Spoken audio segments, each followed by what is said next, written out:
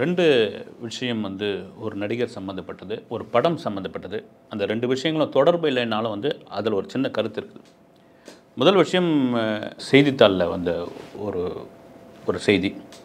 தயாரிப்பாளர் ஞானவேல் ராஜா அவர்களுடைய வீட்டில் நகை களவு போயிடுச்சு. அவர் சந்தேகம் வந்து அந்த வேலைக்கார பெண்மணி மேலே இருக்குது அந்த வேலைக்கார பெண்மணி அந்த சந்தேகத்தின் பேரில் அல்லது என்னென்னு துக்கம் தாழ முடியாமல் அல்லது அவமானம் தாழ முடியாமல் நம்ம விஷம் குடிச்சிருக்காங்க. ட்ரீட்மெண்ட்டில் இருக்காங்க. இது போலீஸ் விசாரணையில் இருக்குது ஞானவேல் ராஜா வந்து சூர்யாவுடைய உறவினர் கங்குவா படத்தினுடைய தயாரிப்பாளர் தொடர்ச்சியாக பல படங்கள் பண்ணிட்டு இருக்காரு ரைட்டு வந்து ஒரு சாமானியனுடைய அந்த இது. நீங்கள் வந்து ஒரு ஒரு பவர்ஃபுல்லாக இருக்கிறவங்க வந்து ஒரு ஒருத்தர் மேலே ஒரு குற்றச்சாட்டு வைக்கும் பொழுது அவருடைய மனநிலை எப்படி தான் இருக்கும். சரி போலீஸ் விசாரணை அதை பண்ணிகிட்டு இருக்கு. அதனுடைய முழுமை என்னன்னு தெரியாமல் நம்ம பேசக்கூடாது சரி இதுக்கும் இன்னொரு மேட்ருக்கு என்ன அப்படின்னா அப்படியே வரும் வந்து ஜெய்பீம் ஜெய்பீம் படம் எல்லாருக்கும் தெரியும் வந்து ஒரு மிகப்பெரிய படம். இன்டர்நேஷ்னல் அவார்டு அத்தனையும் போய் வாங்கினது. ஒரு கொண்டாடப்பட்ட ஒரு படம். ஒரு உண்மை சம்பவத்தை அடிப்படையாக வைத்து எடுக்கப்பட்ட படம். எல்லாரும் தெரியும் வந்து ஒரு இருளர் சமூகத்தை சேர்ந்த ஒரு அப்பாவி இளைஞனை திருட்டு பட்டம் கட்டி போலீஸ் சித்திரவதைக்குள்ளாகி அவனை வந்து நாரும் தோளமாக்கி ஒரு வழக்கறிஞர் உள்ளே இறங்கி அவனுக்கு நீதி கிடைக்க செய்து இந்த உலகத்தையே பார்க்க வைத்த ஒரு நிஜ சம்பவம் அது. சரி ஓகே. அந்த பாதிக்கப்பட்ட அந்த இளைஞருடைய மனைவி இப்போ அவங்களுக்கு வயசாகிடுச்சு வந்து. பார்வதி பார்வதி ராஜேந்திரன். இன்றைக்கி இன்றைக்கி இருக்காங்க வந்து. இந்த படம் வந்து பெரிய வெற்றி அடைஞ்சிருச்சு. ஒரு பெரிய அதாவது வந்து மக்களால் கொண்டாடப்பட்டது விருதுகள் வாங்கிடுச்சு எல்லாம் பண்ணியாச்சு வந்து. சமீபத்தில் ஒரு புகைப்படம் ஒன்று பார்த்தேன் வந்து இந்த பார்வதி ராஜேந்திரனுடைய அந்த அம்மாவுடைய புகைப்படம். ஒரு வீடு கிடையாது. குச்சி சுள்ளிகளை ஒடிச்சு ஒடிச்சு ஒடிச்சு ஒடிச்சு ஒரு மூலையாக வச்சுருக்குறாங்க. வீடியோ கிடையாது. எனக்கு தெரிஞ்சு பார்த்தீங்கன்னா வீடியோ கிடையாது வந்து. அது ஒரு ரெண்டு புகைப்படம் பார்த்தேன் நான். என்னையா வந்து இவங்களை வச்சு படம் எடுத்திருக்கீங்க. இவங்களுடைய வாழ்க்கையினுடைய சம்பவத்தை அடிப்படையை வைத்து இந்த படத்தை எடுத்திருக்கிறீங்க. பெரிய வசூலை குவிச்சிருக்குது. படத்தில் அவ்வளோ சம்பாரிச்சிருக்கிறீங்க. அதனுடைய காப்பிரைட் அவங்க தான் வந்து உங்களுக்கு வந்து மூலக்கதை அப்படின்வாங்க தெரியுங்களா வந்து? அந்த கால படங்கள்லாம் இப்போலாம் யாரும் போடுறதே இல்லை வந்து. நிறைய கதை திருட்டு ஒரு பக்கம் நடந்துகிட்டு இருக்கு. மூலக்கதை கதை இந்த இதெல்லாம் கிடையாது கிடையாது. எவனா ஒருத்தன் சொன்னானா அவனை அடிச்சுன்னு போய் சமீப காலமாக நீங்கள் வந்து நிறைய இந்த கதை திருட்டு சினிமாவில் நடந்துட்டு ஒரு காலகட்டத்தில் கதை இலாக்கான்னு இருந்தது. தேவர் ஃபிலிம்ஸில் இருந்தது சத்யா மூவிஸில் இருந்தது. கதை இலாக்கா உட்காருவாங்க. ஒரு கதையை வந்து வாங்க கதையாசிரியர்கள்கிட்ட வாங்குவாங்க. கதையாசிரியர்கள்ன்ற ஒரு இனமே இருந்தது. அது அப்புறம் காணாமலே போயிடுச்சு சினிமாவில். கதை திரைக்கதை வசனம் direction office boy lightman production boy tea கொடுப்பவர் பாத்திரம் வளர்ப்பவர் எல்லாம் ஒரே ஆள் தான் வந்து.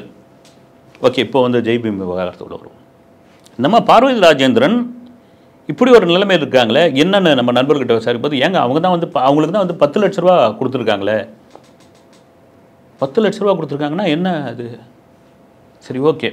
இப்போ ஜெய்பீம்க்கு வந்து ஒரு அப்படியே ஒரு ஒரு பின்னோக்கிய ஒரு விஷயத்துக்கு போ தாசே ஞானவேல் இயக்கிய அந்த படம் இப்போ வேட்டையன் சூப்பர் ஸ்டாரை வச்சு பண்ணிக்கிட்டு இருக்காரு. சமூக நீதி சொன்ன கதை அது வந்து. இல்லை பல சர்ச்சைகள் வந்து ஜெய்பீமில் இருந்தது. நான் கூட சில சேனல்லாம் பேசியிருக்கிறேன். இது நடந்த விஷயம் வந்து ஒரு சர்ச்சை. விருதாச்சலம் பக்கத்தில் கண்மணி குணசேகரன்ற ஒரு எழுத்தாளர்கிட்ட தாசே ஞானவேல் அவருடைய குழு போய் எலிவேட்டைன்னு ஒரு படம் எடுக்க போகிறோம் அதுக்கு வந்து இந்த தென்னார்காடு மாவட்டத்தினுடைய அதை நடுநாடுன்னுவாங்க அதை. அந்த நாட்டினுடைய அந்த இருளர் சமுதாயம் பேசக்கூடிய அந்த வட்டார வழக்கு இங்கு பேசக்கூடிய மக்களுடைய வட்டார வழக்கெல்லாம் எங்களுக்கு வேணும் அப்படின்பொழுது அவர் வந்து அதுக்கு எழுதி கொடுக்குறாரு அந்த அதெல்லாம் பண்ணுறாரு அது சொன்னது என்னென்னா எலிவேட்டை. ரைட் ஓகே அதுக்கு என்னென்னா அந்த சூர்யாவுடைய டூடி நிறுவனத்திலிருந்து அவருக்கு வந்து ஐம்பதாயிரம் ரூபாய் செக் அனுப்பப்படுகிறது. அதை எழுதி கொடுத்ததுக்காக. அது நல்ல வேலை அதை வச்சுக்கிட்டார் அதை. பத்திரமா அதை வந்து பேங்க்கில் போடல. அவரே சொன்னது அவருடைய பதிவு ஃபேஸ்புக் தளத்தில் கண்மணி குணசேகரனுடைய பதிவு இது. படம் வருது வந்து படம் வந்தவுடனே படத்துக்கு பேர் ஜெய் பீம்மானது இவர் கொஞ்சம் சந்தேகமாகுது. ஓகே எலிவேட்டைன்ட்டு வந்து தலைப்பு கிடைக்காம போயிருக்கலாம் வந்து அதிலலாம் இந்த கதைக்கு அது ஆப்டா இல்லாமல் இருக்கலாம் மாறி இருக்கலாம். ரைட் ஓகே அந்த படம் உள்ளே போய் பார்க்குறாரு. இவங்க கிட்ட சொன்ன கதை வேறு. யார் இவர்கிட்ட சொன்ன கதை வேறு? இங்கு எடுத்துள்ள கதை வேற.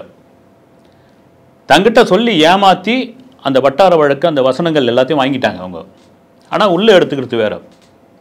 குறிப்பாக இதில் ஒரு காலண்டர் ஒன்று வரும். அதுக்கப்புறம் அதெல்லாம் மாறிடுச்சு. வந்து ஒரு குறிப்பிட்ட சமூகத்தினுடைய ஒரு ஒரு ஜாதியினுடைய அடையாளமாக இருக்கக்கூடிய ஒரு நெருப்புச்சட்டி படத்தை வந்து ஒரு கேலண்டராக வச்சுருப்பாங்க. அது பெரிய சர்ச்சையை உண்டாக்கிச்சு. அது ஆர்ட் டைரக்டர் தெரியாமல் வச்சுட்டாரு அப்படின்ற சொன்னது வந்து மிகப்பெரிய காமெடி வந்து. அது ஏதோ லோ பட்ஜெட்டில் ஒரு படம் எடுக்கிறாங்க. ஒரு நா- ஒரு நாலு பேர் லோ பட்ஜெட்டில் இருப்பாங்க இல்லைங்களா? ஒரு ஒரு ரெண்டு பேர் சேர்ந்து எல்லா வேலையும் அவங்களே பார்ப்பாங்க. அப்போ வந்து இந்த மாதிரி மிஸ்டேக் நடந்ததுன்னா ஓகேன்னு சொல்லலாம் நம்ம வந்து. ஒரு கேமரா வச்சுக்கிட்டு ஒரு நாலஞ்சு பேர் சேர்ந்து சும்மா ஒரு ஒரு இது அவங்க எடுப்பாங்க. அது மாதிரி இருந்தால் கூட பரவாயில்ல. ஒரு குறும்படமாக இருந்தால் கூட பரவாயில்ல. ஆனால் ஒரு சூர்யா நடிக்கிற ஒரு படம் அவர் தயாரிப்பில் ஒரு படம் ஒரு பெரிய ஸ்டாரு இதில் எப்படி வந்து ஏங்க ஒரு ஒரு அசிஸ்டன்ட் டைரக்டர் இருக்காங்க இல்லைங்களா? கண்டினியூட்டி பார்க்குறதுக்கு ஒரு அசிஸ்டன்ட் டைரக்டரு அப்புறம் வந்து ட்ரெஸ்ஸோடைய கண்டினியூட்டி பார்க்குறதுக்கு ஒரு அசிஸ்டன்ட் டைரக்டரு க்ரௌடை கிளியர் பண்ணுறதுக்கு ஒரு அசிஸ்டன்ட் டைரக்டரு இப்படி சொல்லிக்கிட்டே போகலாங்க வந்து. ஒவ்வொருத்துக்கும் வந்து அதே போல் வந்து இந்த ஆர்ட் டைரக்டர் பார்க்காம விட்டார் அப்படின்னு சொல்கிறது எவ்வளோ இது? அது பெரிய சர்ச்சையாகி அப்புறம் வந்து அது மகாலட்சுமி காலன்றாக மாற்றப்பட்டது.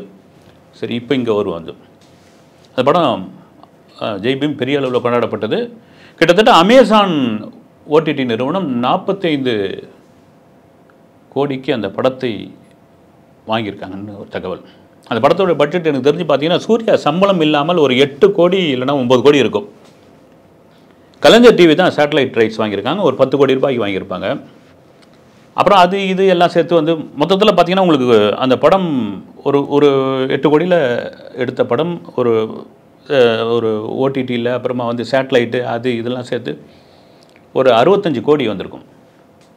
இதில் ஒரு முக்கியமான விஷயம் என்னென்னா நானும் ரொம்ப நாளாக எனக்கு அது அரசல் புரசலாக தெரியும் வந்து நீங்கள் பார்த்தீங்கன்னா அவார்டுக்குன்னே சில படங்கள் எடுப்பாங்க பார்த்தீங்கன்னா அந்த அவார்டுக்குன்னு எடுக்கிற படங்களை பார்த்தீங்கன்னா எப்படி இருக்குன்னா இந்தியா ஒரு இந்தியாவில் உள்ளவங்களாம் வந்து ரோட்டில் ஆகி போகிறவங்க இது வந்து ஒரு பாம்புகள் நிறைந்த நாடு. சுற்றிலும் வந்து ஒரு பசி பட்னியாக இருக்கிறவங்க. இங்கே வந்து வாழ தகுதி இல்லாத மக்கள். இப்படியா ஒரு விஷயத்தை சொல்லி ஒரு படத்தை எடுத்து அதை வந்து இன்டர்நேஷ்னல் ஃபிலிம் ஃபெஸ்டிவலுக்கு அனுப்பிச்சு அது வெறும் அங்கே கைத்தட்டல் மட்டும்தான் கிடைக்கும் அவார்டு தான் கிடைக்கணும் இல்லை. ஒரு ஒவ்வொரு சில ஃபெஸ்டிவல்லாம் பெரிய தொகையெல்லாம் கொடுத்துருக்காங்க. பெருந்தொகையெல்லாம் கொடுத்துருக்காங்க. அது மாதிரி ஒரு பெரும் தொகையை வாங்கிய படம் தான் ஜெய்பீம். குறிப்பாக இங்கே இந்தியாவில் நொய்டா ஃபிலிம் ஃபெஸ்டிவலில் அந்த படத்துக்கு கிட்டத்தட்ட முப்பது லட்சம் ரூபாய் கொடுத்துள்ளதாக ஒரு அப்புறம் பாஸ்டன் முப்பதாயிரம் டாலர் கிடச்சிருக்குன்னு சொல்கிறாங்க ஒரு புள்ளி வரும். இது நம்ம நம்மளுக்கு தெரிஞ்ச பெரிய இதை தவிர பார்த்தீங்கன்னா சைனாவில் வந்து ஹண்டிங் அப்படின்ற ஒரு ஃபிலிம் ஃபெஸ்டிவல்னு நினைக்கிறேன். இங்கே சைனாவில் அந்த ஃபிலிம் ஃபெஸ்டிவலுக்குள்ளே போகிறதுக்கு அவ்வளோ பெரிய விஷயம். அது அதுக்குள்ளே ஈஸியாக ஒரு படம் போயிடவே முடியாது. இந்த படத்தை எப்படி கொண்டு போயிருக்காங்கன்னு நமக்கு கிடைச்ச தகவல் என்னென்னா இந்த படம் வந்து ஒரு கம்யூனிஸ்ட்டுகள்லாம் சேர்ந்து இந்த விஷயத்தை வந்து வெளியே கொண்டு வந்தாங்க. இது ஒரு கம்யூனிசம் பேசக்கூடிய ஒரு படம். இது கம்யூனிஸ்டுகள் இல்லை என்றால் ஒரு சாமானியனுக்கு இப்படிப்பட்ட ஒரு இது கிடைச்சிருக்காது அப்படின்ற மாதிரி ஒரு விஷயத்தை சொல்லி ஓகே இல்லை இதில் அதிலும் இருக்குது உண்மை கதையில் இருக்குது அப்படி சொல்லி ஒரு கம்யூனிஸ்ட் நாடு சீனா அதுக்குள்ளே அந்த அந்த விருது வாங்கினவுடனே அவன் என்ன சொல்கிறான் இந்த விருது உலகத்திலேயே வந்து ஏசியாவிலே மிகப்பெரிய விருது. இதை ஒரு படம் வாங்கிடுச்சுன்னா அங்கே இருக்கிற சீன வங்கிகள் முக்கியமாக இருக்கிற அந்த வங்கிகளே என்ன பண்ணுறாங்க உங்களுக்கு ஒரு மானியத்தில் ஒரு பெரும் தொகை கொடுக்குறாங்க. படத்தை ப்ரோ தயாரிங்கன்னு. நீங்கள் அங்கே அந்த விருது வாங்கிட்ட பிறகு ஏசியாவில் உள்ள மற்ற நாடுகளில் ஈஸியாக அந்த படம் வந்து போய் போட்டியில் கலந்துக்கலாம் விருது வாங்கலாம். இப்படியா ஒரு பெருந்தொகையை சம்பாதித்தது அந்த அந்த படம். அப்புறம் வந்து எனக்கு தெரிஞ்சு இருளர் சமுதாயத்தினுடைய நல நிதிக்காக வந்து ஒரு கோடி ரூபாய் என்னவோ வந்து ஒரு செக்கு கொடுக்குறாங்க. அந்த செக்கு அதுக்கப்புறம் திரும்பி வந்துருச்சுன்னு நினைக்கிறேன். அப்படி ஒரு அமைப்பே இல்லைன்னு. அது எனக்கு ஒரு தன்னார்வலர் ஒருத்தர் சொன்ன தகவல் வந்து. சரி ஓகே. இப்போ வந்து இந்த பார்வதி ராஜேந்திரன் நம்ம அந்த ஜெய்பீம் கதையில் அந்த நிறைமாத கர்ப்பிணியாக அந்த பெண் நடித்தாங்க இல்லைங்களா? தன்னுடைய கணவன் மீது ஒரு திருட்டு பட்டம் சுமத்தப்பட்டு லாக்கப்பில் அடி அடி அடின்னு அடித்து அவனை கொன்று தமிழ்நாடுக்கும் பாண்டிச்சேரிக்கும் உள்ள பார்டரில் அவனை தூக்கி போட்டு அதை வந்து ஒரு வழக்கறிஞரும் ஒரு போலீஸ் அதிகாரியும் கண்டுபிடிச்சு அதை வெளிச்சத்துக்கு கொண்டு வந்த சம்பவம். அந்த அதற்கு காரணமான அந்த போலீஸ் அதிகாரிக்கு போலீஸ் அவருக்கு வந்து ஒரு தண்டனையை கிடச்சிருக்குது. அதுலேயும் ஒரு ஜாதிய பிரச்சனைகள்லாம் பேசியிருக்கு அதுக்குள்ளே நான் போக விரும்பலை. அந்த நிறைமாத கர்ப்பிணியாக நடித்த அந்த பெண்மணி அதோடு போயிட்டாங்க. அந்த கேரக்டர் இன்னும் வாழ்ந்துக்கிட்டு இருக்கு. அவங்களுக்கு கூட அந்த அதான் பார்வதி ராஜன் அந்த அம்மாவுக்கு வயதானே இருக்காங்க வந்து. வீடு இல்லை. ஆனால் அந்த படம் வந்த சமயத்தில் ஒரு நடிகர் வந்து நான் பேர் சொல்ல விரும்பலை. வேணாம் நீங்கள் கமெண்ட்ஸில் ஒன்றா போட்டுங்க திடீர்னு இந்த மீடியாக்கள்லாம் சில பேர்லாம் கூட்டு போயிட்டு இவங்களுக்கு நான் வீடு கட்டி தரேன். அப்படின்னு அவர் ஒரு பப்ளிசிட்டி தேடிக்கிட்டார் கட்டி கொடுத்தாரு இல்லை ரொம்ப சந்தோஷமாக இருந்தது அந்த சமயத்தில். அப்படி கட்டி கொடுத்துருந்தா அவங்களுக்கு வீடு இருந்திருக்கணுமே. சரி இவங்களுக்கு வந்து பத்து லட்ச ரூபா கொடுத்துருக்காங்க. நீங்கள் எப்படிங்க இதை பேசலாம் அப்படின்னு சொல்லலாம் அந்த பத்து லட்ச ரூபாய் அவர்கள் பேரில் அந்த அம்மா பேரில் டெபாசிட் பண்ணியிருக்காங்க. ஃபிக்ஸட் டெபாசிட் பண்ணியிருக்காங்க.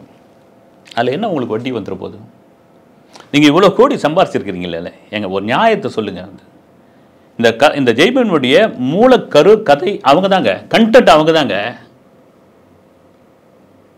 ஒரு பூரியோ சப்பாத்தியோ ஏதோ செய்கிறீங்க கோதுமை தானே அதனுடைய இதுவே அதுக்கப்புறம் அதை அரைச்சு நீங்கள் வெவ்வேறு விதமாக அதை மாற்றிக்கிறீங்க அதுதான் அவங்க பார்வதி ராஜேந்திரன் அவங்க தான் இத்தனை கோடி எவ்வளோ ஒவ்வொரு திரைப்பட விழாவிலையும் இப்படி நீங்கள் சம்பாரிச்சிருக்கிறீங்க அது.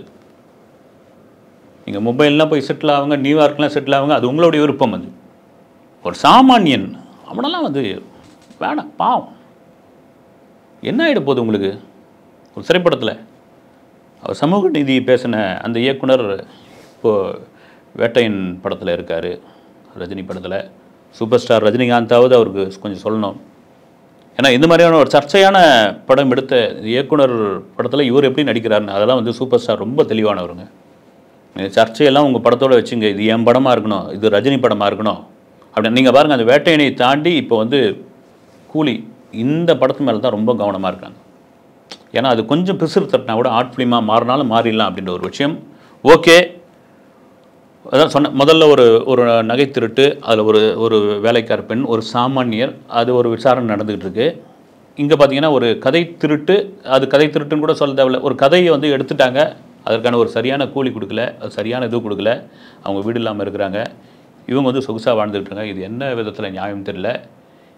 இதை என்ன மாதிரி ஒரு மீடியாக்காரர்களால் தான் கேட்க முடியும். பொதுவான ஒரு மக்கள் உங்களுடைய குரலையும் அது நீங்கள் ஒழிக்க தான் செய்யணும். இது உண்மை. இது வேண்டாம் தொடர வேண்டாம். சாமானியர்கள் மீது வறுமையானவர்கள் மீது அப்பாவிகள் மீது பாவப்பட்டவர்கள் மீது அந்த காசுலாம் உங்களுக்கு வேணாங்க. விட்டு கொடுத்துருங்க. அவங்களுக்கு நியாயமான தொகை கொடுத்துருங்க. வாழட்டும் அவங்க. திரைப்படத்தில் நீங்கள் கதாநாயகனாக இருக்கீங்க. நிஜத்திலும் கதாநாயகனாக இருங்கள். நன்றி. வணக்கம்.